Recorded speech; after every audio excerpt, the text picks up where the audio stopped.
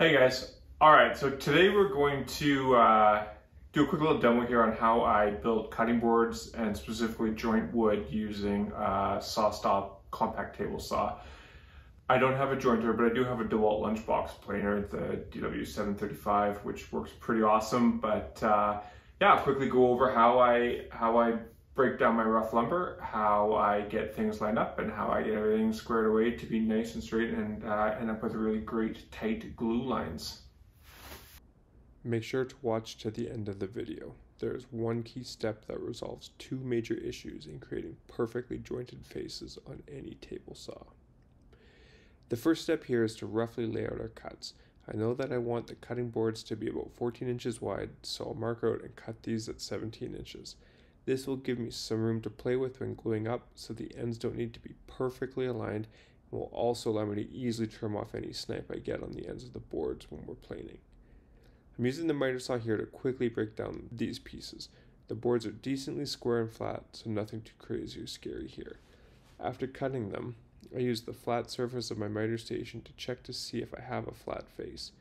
I mark the flat side facing down for the next few steps.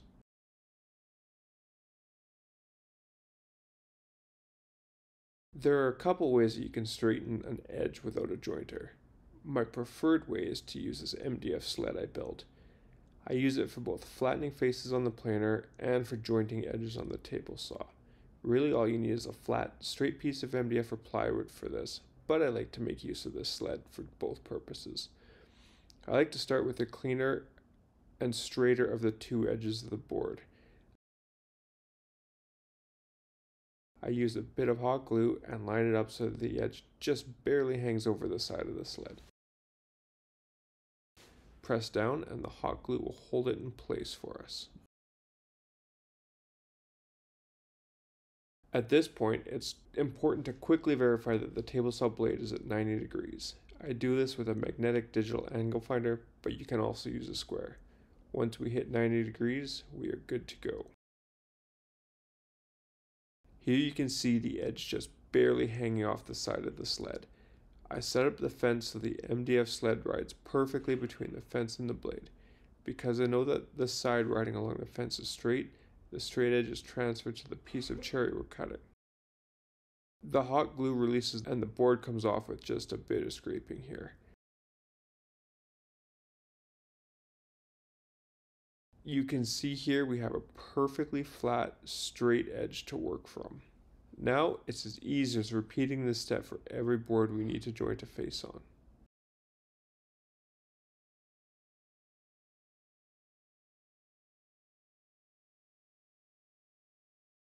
Alright.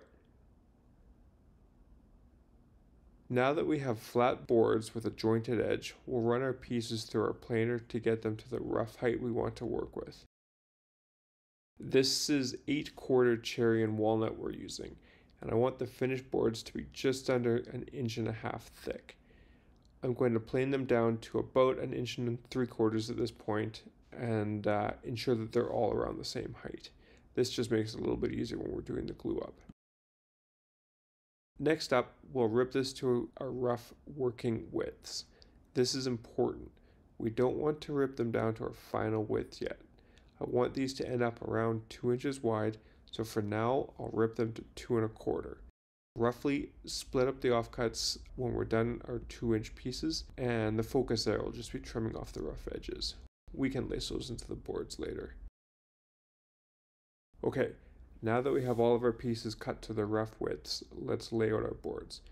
This would be the same process you go through for any type of panel glue up. For cutting boards, I focus more on which side I want on the top of the finished board than I do the grain direction of each individual piece. Given they are small boards with lots of glue, I think the risk of major warping or cupping is pretty small. It's more important to me to have the most pleasant grain pattern and to ensure that any knots or voids don't end up on the top of the board. Generally, I try to ensure that the pieces I use are free of major issues but I will fill small spots with CA glue after sanding. I don't want this on the top of the board as the CA glue could chip out when the boards are being cut on. Once we have the boards laid out in the pattern we want, we move on to the most important step, Starting from one side, we mark each edge that is facing in with an alternating up and down text. This will allow us to mitigate any small inconsistencies in the angle of the blade, table, or fence. I'm confident that my blade is set to 90 degrees, but I also know that with this being a job site saw, the table and fence aren't perfectly flat and it is hard to get the throat plate dead level with the table. By alternating the sides facing up during our cuts, we ensure that these discrepancies cancel each other out and we are left with a nice tight glue lines. Now the secret to this next step is to take off the least amount of material possible. I like to aim for around a 16th of an inch or roughly half the thickness of a blade kerf. Not only does this give us nice tight glue lines that we're looking for, but it also removes any burning from the saw. Cutting 8 quarter hardwoods, especially wood like hard maple, is going to lead to some amount of burning. This is especially true on a job site saw where you don't have the power of a 5 horsepower cabinet saw. By removing just this very small amount, you're left with a very clean edge. And there we have it. Cutting boards are easy to make, but they also teach techniques that can be applied to larger panel glue ups.